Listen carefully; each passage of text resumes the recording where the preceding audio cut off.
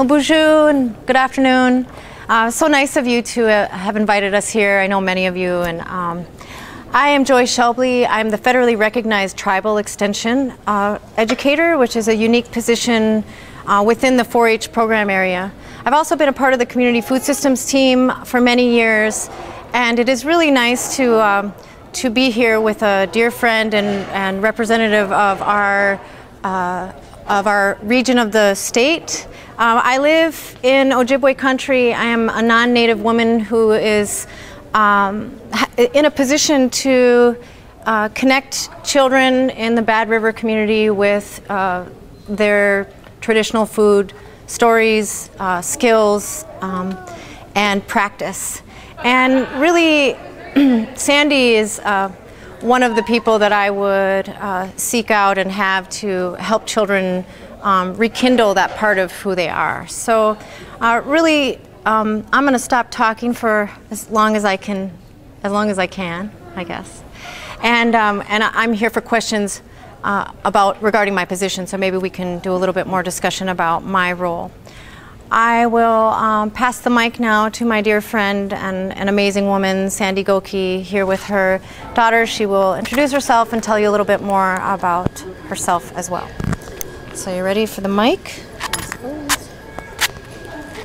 The real star of the show, of course, is Allie Jean, the little baby. So. She's snoozing. It's right here, okay? Sound alright? Okay. I don't care. She's snoozing. I do want her. Okay. Ruju and Dinaway Magana Dug, Sandy and the Jinakaz, when a Pashtabe and Gu, Makwen Dudem, Wikweang and Dunjaba. Um, I just introduced myself in my language, Ojibwe Moan. I, I'm Sandy, I'm Bear Clan, and I, I come from Red Cliff. I live in Ashland, Wisconsin now. Um, I only know a little bit, and um, honored to be here. But um, I'm gonna kind of start from way back, um, before time as we know it is, if that makes sense to you guys. Um, we were given gifts from the Creator, and it was asemaa as one of them, tobacco. And that's what's to be used it's one of our tools to use to speak with the spirits and the creator and the beings around us. And we, um, we always have it because anytime we take the life of something, the cedar, which is another one of our sacred medicines, it's mostly a woman's medicine. Um, our sage here, and Here's some unbraided sweetgrass and some braided sweetgrass. So if you guys want to, I'll pass these around. And um, part of, a big part of who we are as a people is we eat. Everybody does. That's what connects us as human beings. We eat, we drink, and long ago, things were a little easier to get, and we have we have a lot of stories that talk about this. Um, but we got lazy, so I the snow is not on the ground right now, so I can't really go in depth with a lot of the stories. But um, the morals of them, I can tell you. So, with our maple trees, they used to, when you'd put your tap in here made out of sumac in the beginning. Now we have metal and plastic ones. Um, when you would do that, it used to come out as syrup. You didn't have to render it down. So after a while, people stopped working for it, and they would just get lazy and they'd tap into the spile and just lay there. They started getting fat. not doing the rest of the work that needed to be done for the rest of the year. So yeah, they had maple syrup in the spring, but they weren't working for it. They weren't gathering wood. They weren't making the fires, staying up late, boiling it down, laughing, joking, visiting. That's all a part of the work too. It sounds like it's just being being kind of lazy, but it's not, you know. Um, so then it rained, and it rained, and it rained, and it rained. And those maple trees filled up with water, and that's never stopped. So now instead of maple syrup coming out, we have sap, and you have to work for it. You have to boil it, you have to tap it, haul it, store it, and um, and then can it, jar it, so it doesn't go rotten or render it down to um, sugar cakes or sugar itself. So it might sound like I'm bouncing all over here, but there's a method to my madness. Um, that's that's the beginning of our year. Um, springtime is our New Year's. That's when everything wakes up, shakes off the cobwebs, um, shakes off the snow, starts budding. So, the beginning of the year, the first thing we do is we gather maple syrup, and the time when you do that is when there's a little ring around the base of a maple tree from it being above freezing during the day and below freezing at night. So then, once um, once the trees start budding, leaves start coming out. That's when we move into um, spearing season, spring spearing. And old days used to have a torch made out of birch bark. I don't have too much, just a couple of pieces here, but um, this is really good kindling and makes real good torches. So you'd have somebody holding a torch. And this is a winter spear. And a spring spear is 12 to 18 feet long. And you're standing up and used to stand in the canoe, so you'd have to be pretty steady and good on your feet. And you'd use that torch and you can see the walleye's eyes. You just drop it in and you jab it and put it in. Uh, winter spearing is a lot different than that, but we'll get to it. Um, now we have um, a lot of people use hard hats, but with more technology and brighter, more lightweight lights, you can use them headlamps that they have, the elastic band. Those are bright enough to where you can see it. And we use boats now, um, aluminum boats generally, some are fiberglass. And we get a lot of criticism for doing that. Our, our rights weren't always recognized. We've always had them since the beginning of time. That was that's our right from the creator. You have that right too, every single one of you. It's it's just that it's regulated by the powers that be. You, you, you all have that right to feed yourself and do it how you need to do it we um, we were thrown in jail for a long time. Um, over just that is the way we have fed ourselves for generations and generations. And this just stopped um, probably 30 years ago uh, with the LCO v Wisconsin cases. And that's where our treaty rights were reaffirmed in the late 80s, early 90s. Um, and it was a really hard time in northern Wisconsin. Um, a lot of racism has always been there, still is there, but it came to the surface and it came, we were met with a lot of violence. Um, I wasn't alive then, but my dad was, my uncles, cousins, they all went through that so that I can do it, and my sons and my daughter can do it um, forever. Uh, because that's who we are as Anishinaabe people.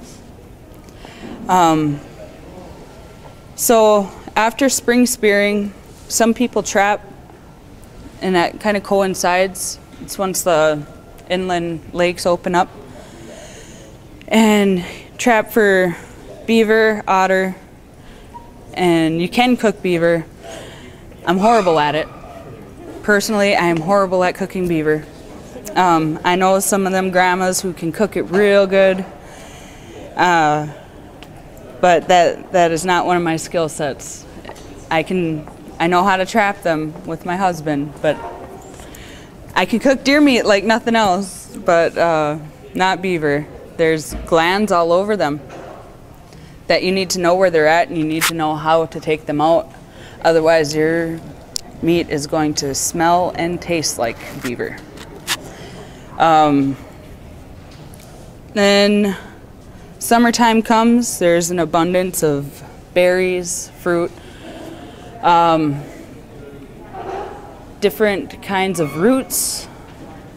We, I like coffee, that's my favorite drink, but we're people of that make tea. And there are so many plants, like in that book there, that's being passed around. Um, there are so many plants we use for teas, and that would be our regular drink. And it would give us the nutrition we need and the vitamins and um, other substances we need to be strong, be connected, and survive in the climate we live in. So, um, I always try to think of my favorite berry, and I can never do it because when it's the time of those wild berries, that one's my favorite. But then when it's the time of the next one, you know, strawberries come and um, and then you get blueberries and raspberries and thimbleberries, and I just can't decide. I, I love them. And, and I think that might have to do with me being Bear Clan. I don't know. But um, then we're starting to get to late summer. And one of our main staple foods is manoomin. And there's some in here. Mind if I pass this? All right, so there's some sage in here, um, some corn, and then on the one closest to the handle is manoomin or wild rice. And we still use canoes for wild rice. We still pole, um, 12 foot pole. You're standing up and depends on how you want to do it, back or the front of the canoe. Um, it's kind of a teamwork effort. It is very much a teamwork effort, actually. And um, my husband likes to stand in the back of the canoe and I'll be in the front and we'll be facing each other. So the rice is coming at my back and I take one and I pull it all in and I tap it twice. Tap it. Sometimes three, depends on how it's falling and how thick it is. Um, these are uh, called Bawa Iganuk Un. Bawa Iganuk this is one. Bawa Iganuk Un, two two knockers or ricing sticks. Um, I made these. They're made out of cedar. They're really light. Um, they fit my hands well. I have kind of small hands. Some people's are thicker. Um, there's, as far as our regulations go, um, I'm going to go back to this LCO case that I was talking about before. What manifested from that was our reaffirmed treaty rights. And like I mentioned before, they're reaffirmed. They weren't given to us. We retain them. And um, our way of being, we think about every everything we do, how it's going to affect seven generations ahead of us. And um, you know, generally it a generation is about 20 years, you know, is how we, we would think of it, but it's actually a little longer than that. It's probably about 40 years. And so to think that far ahead on what you're doing, it's, it's really humbling and it's also a way of knowing that um, that what you do does affect the future and it does affect how how others will live and the quality of their lives. So, um, when you're ricing, it's it's hard work. It's hot. It's itchy. You got bugs, worms. Um, Got to have your hair in a braid if you have long hair, otherwise, you are going to have rice kernels in your hair for days. Um, tuck your tuck your pants in your socks. Rice worms do bite. So the process of going out is only part part of the process of getting it. So before you go out, you need to make your knockers. You need to make your winnowing basket if that's how you're going to do it. Now we have machinery that um, that can help with the process of rice. But the old way, um, a lot of people still do use that. And so you have to make your winnowing basket, which is made out of birch bark. It's about this big. You stand with your back to the wind and you shake the rice and it's got a lip so it comes right back in. If you do it right, lost a lot of lost a lot of rice learning how to do that right. um, you have to make moccasins for the person who's going to be dancing it. And these practices truly are a family and community effort because when you when you're processing this rice, um, you need your paddle to scorch the rice. But this little one here would be perfect size to dance the race. And you have a stick here where you can hold part of your weight if you're bigger than his size. Um, you are, you're six? All right. Six years old, yep, that's about the right time.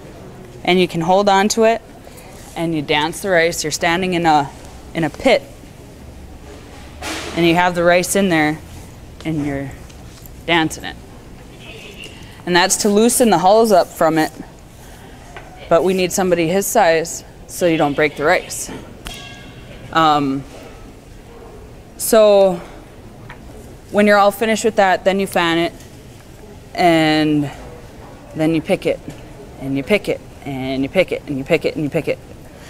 Um, that's probably my favorite part actually because I get to sit there and feel feel this finished product that um, I didn't create, but I did I did work for it. And it is a lot of work. And that's part of what keeps us healthy, what keeps us strong. Um, so then you, from ricing, you go into hunting season. And a lot of these seasons overlap. Um, birch bark, I, I, said I was going to jump around. We're still in summer here. Um, Birch bark comes when when the wild roses are in bloom. That's the best time to to take the bark from the trees because um, it pops right off. So if you make a slit in it and it starts peeling, that's when you know um, you can safely harvest it. And we we use birch bark for I can't tell you how many things um, storing, cooking. Um, you can cook over an open fire with birch bark. Travel, canoes, um, lodges, and um, when the fireflies come out, that's that's when it's okay to start hunting, and um, hunting deer. That is. Uh, I don't hunt bear. I don't eat bear because they are my family. I'm Bear Clan. I, unless I'm starving, I can't. I can't do that. But um,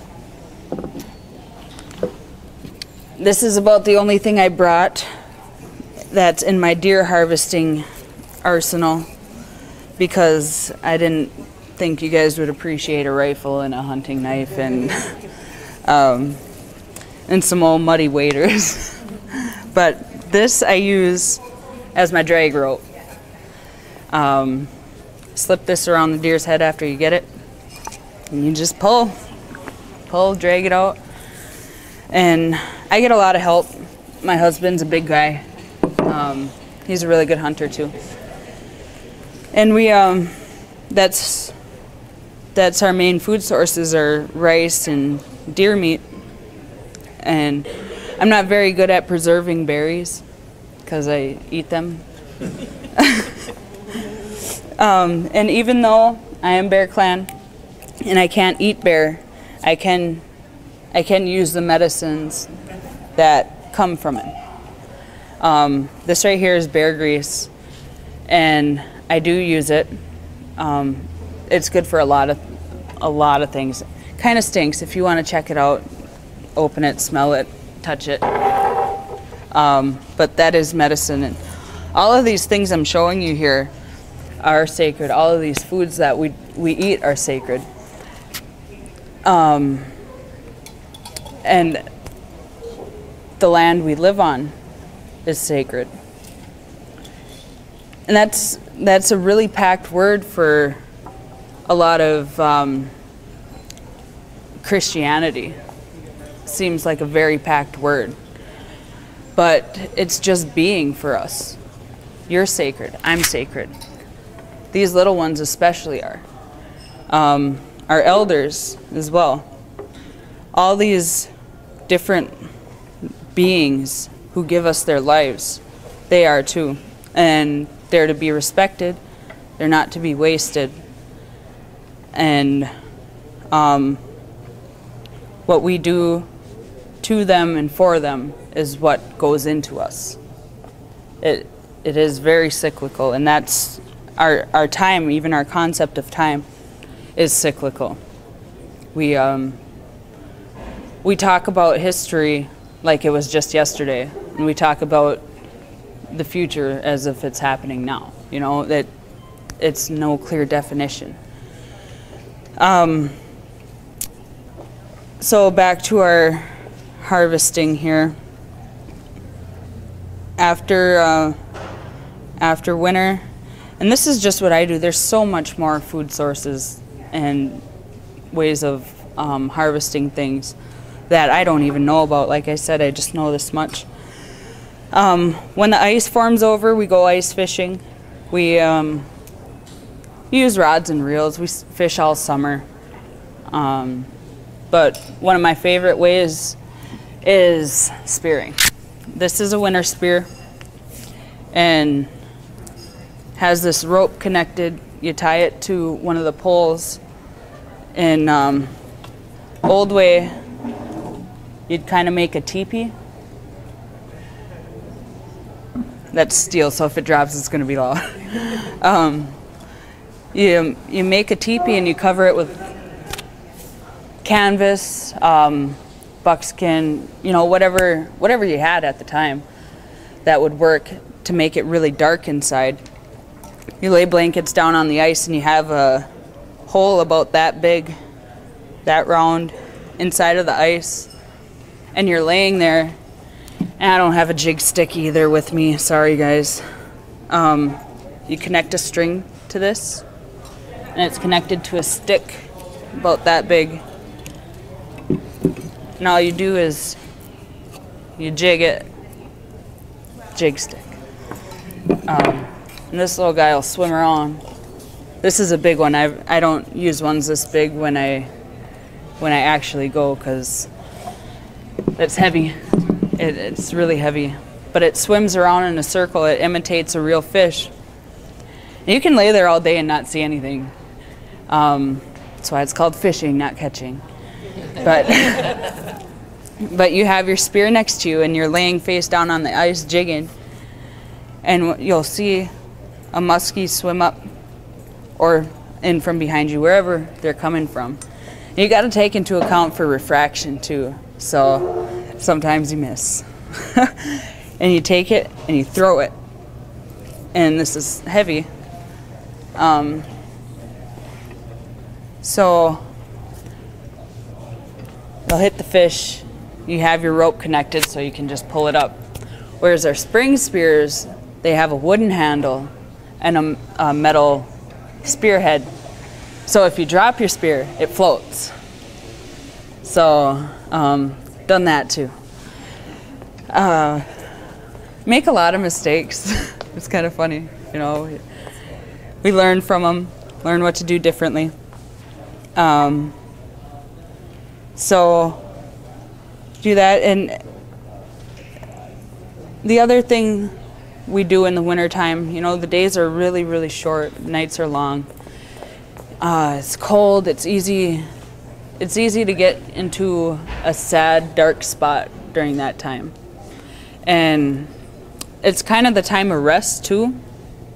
Um, in our spirits, there's there's some who we don't say their name when the snow's not on the ground because they're working hard. You know, they're they're doing what we should be doing um, to be living. All all this work that it takes to provide and feed each other um, with nourishment and um, life. Really, is what we're doing. Um, so we we don't talk about them when the snow's not on the ground because when you're talking, telling a story about them, they listen. They stop and they listen to that story being told. So we don't want to get them kind of angry, like, what'd you take me away from work for this for?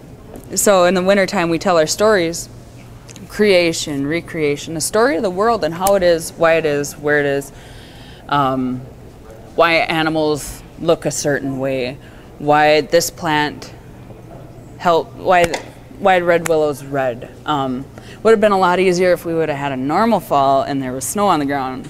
Um, I could tell you a lot of this, but I, I can't right now. Um, so that's about our year end. This, I realize I didn't say much about this. This is um, a dikinaagan. And it's a cradle board. And I have not put her in here yet. Um, I don't know if I'm a worrywart because she's my only girl or what, but I think, okay, you're just a little too small. I'm just going to cuddle you right now. But my son, my middle son, um, went in here quite a bit, and actually, I dragged a few deer out with him on my back um, in this. And um, it's it's a way to keep them safe, warm, bundled up and it really builds up their back and their leg muscles to stand in there. And you, whoops, I am so sorry. Um, because they're constantly flexing in there. They, they look like they can't move. They kind of look like a burrito. Um, and this has little dream catchers hanging. That's what these holes are for. Dream catchers, little trinkets to hang because their arms don't always have to be in; their arms can be out, and um, that's how how we learn from when we're young, before we can walk. Um, this used to have a handle on it, but I took it off because I needed to tie a deer's legs together so I could drag it out because I didn't have my drag rope with me. Uh, so that used to be there, and you can hang them on a tree. So you hang the baby up on the tree and they're watching you, um, observing everything. And that's how we raised our kids in the old days was they would watch, they would listen, they would, they, they wouldn't be running around getting into everything. They would be observing. So you learn from an early age how to do what you need to do I don't know. Um, any questions, anybody? I have a question. When you were talking about the beaver and if you break the glands or get the glands in there, so what does beaver taste like without the glands? Good. Like, I don't. It tastes like um, is it chicken? well cooked. No, no. It's more. It. I'd say. Uh, not quite pork. Yeah.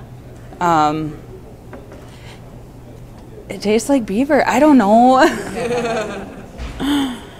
Chewy? um, depending on how you cook it, it's pretty tough. Uh, if you best way I've had it is in a slow cooker with onions and garlic and potatoes sitting next to it, and it cooked all day long, and it was it was pretty good. Not when I cooked it though. I cooked it for a day and a half trying to get it loosened up, and it it was bad.